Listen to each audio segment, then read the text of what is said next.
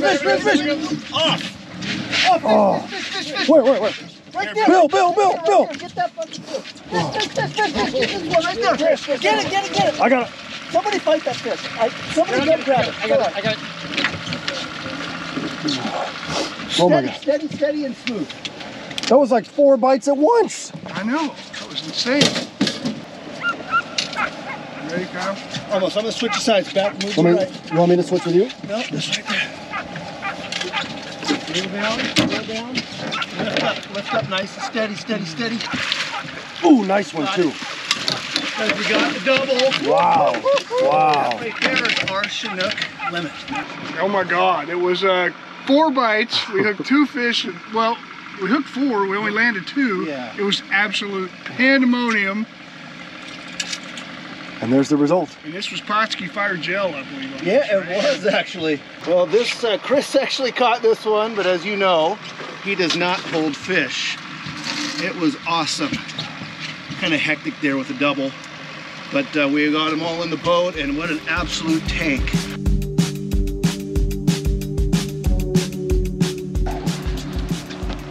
It's got to be close now. Yeah. Nice and steady with the boat. He's going under the boat.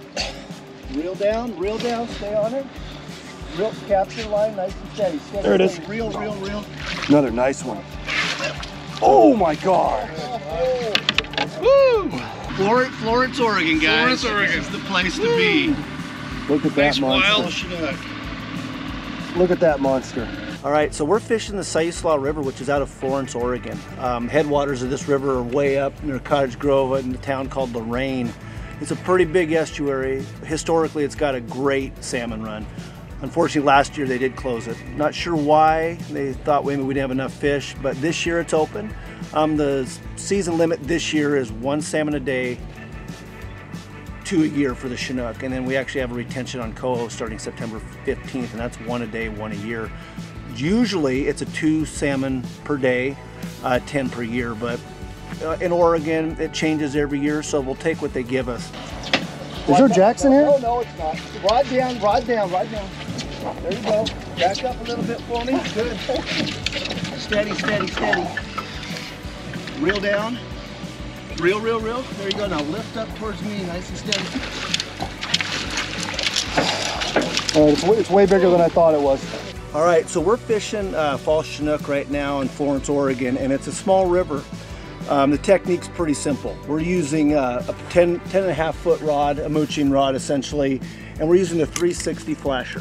Um, these are short bus, locally made. I like them. They work pretty good. And then uh, a 24 inch bumper. So we have this bumper that between the weight, and you'll see here, I got a, this one has a 12 ounce lead, and then we have a slider.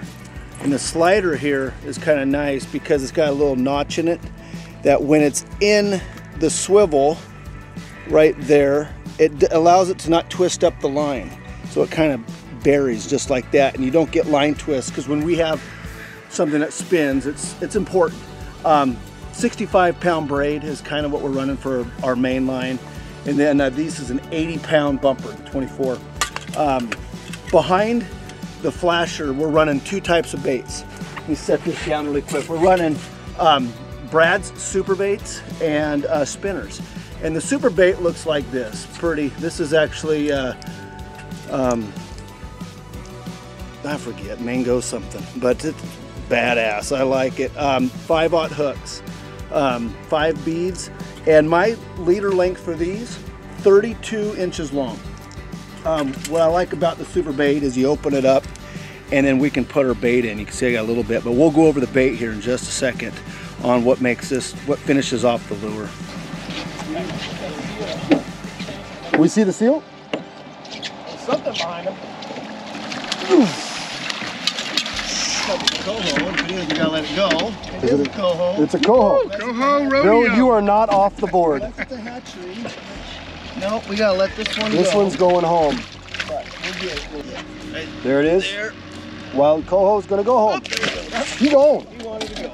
With salmon, guys, scent is important. So I use uh, the fire gel on the spinner. So again, we're using the spinner. And where to apply it comes into question sometime. You can see here. So you got the squid. I like to pull the squid skirt back Um, here's anise right here. Anise fire gel. I also got salmon fire gel. And then the one today that was really good was the anchovy.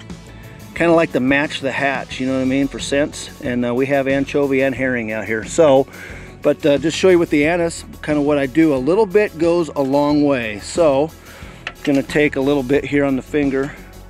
And I got gloves on, you don't need gloves. But I apply that to the skirt on the spinner, just like that. And then uh, when this thing rests, you can see it. Not that we don't need it covered, but I think it doesn't interfere with the blade or anything like that. And we mix it up and then uh, it's important. I personally, between usages, I like to clean off the other stuff when I'm adding another scent. And that's pretty simple. I carry a little brush with me with a little lemon joy. That's kind of the move out here. So I can clean that off to add if I wanted anchovy or not. But this stuff lasts hours. I mean, really, if you only had a little bit, it goes a long way. You can see how it's on that. Just a lot. There you go. That took all of five seconds after we set the rods. He should be hooked. Let's get those in, somebody can grab the net. Not very often do I get a fight of fish, so this is kind of nice. Get, Not ready yet. There, go get it. Oh, look at that. There we go. You're hired. Look at this fish right here. Big old coho. nice river, gotta let it go though. There we go. All right, well, we got it. So this mango habanero, that's the color that I'm looking for for this original super bait. It's from Brad's. Um, it's kind of a simple program. I have a, I use canned tuna, you can see right here. What makes this, it's in oil, so it gives it a binding property, which I like. And then uh, we got the powdered firepower in it. And then liquid krill. I put a lot of krill, and you can see the color of that. It's got that really red color to it. And so when I'm using this, I, I grab a little bit here out of this and then I stuff, I stuff the bait like that. And then we close it up. And then they, they, they come with a little rubber band that goes over it. Just like that, you can see those holes. So when it's trolling, it just, the scent comes out of there. I put a lot of krill in my bait and I'm telling you, I think it works. Fish, fish, fish, fish. Oh, God. Uh-oh, uh-oh, uh-oh. Guys, we gotta get that other rod in. Somebody's got to reel this one in. Ooh, not ready. There we go, he's gonna come in. Just like that. Oh, oh, he wasn't ready. You on the other side yet?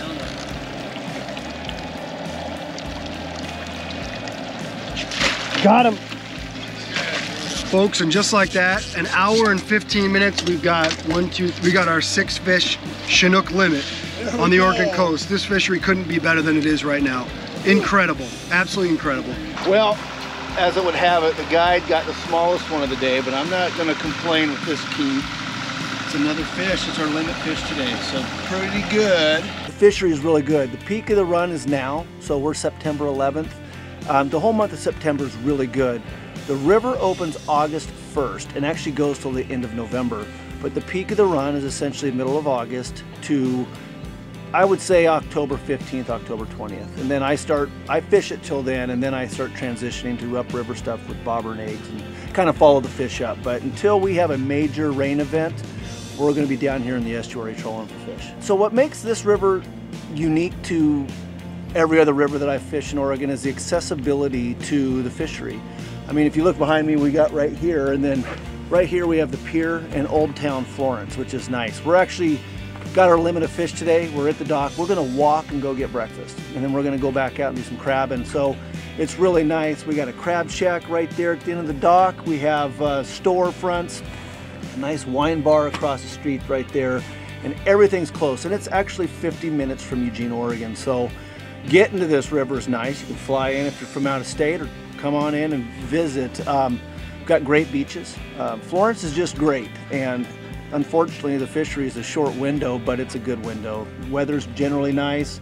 We have a nice marine layer today, but that's just because it's the Oregon coast in the summertime. But um, it's my favorite place to be. Of all the fisheries in Oregon, this is it.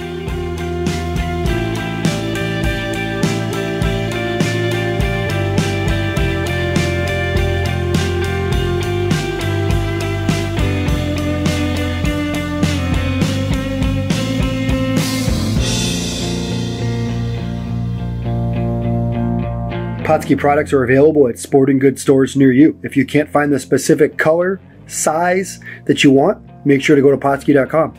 And as a thank you for watching Pautzke Outdoors, we're going to show you a coupon code to be used for 10% off your next order.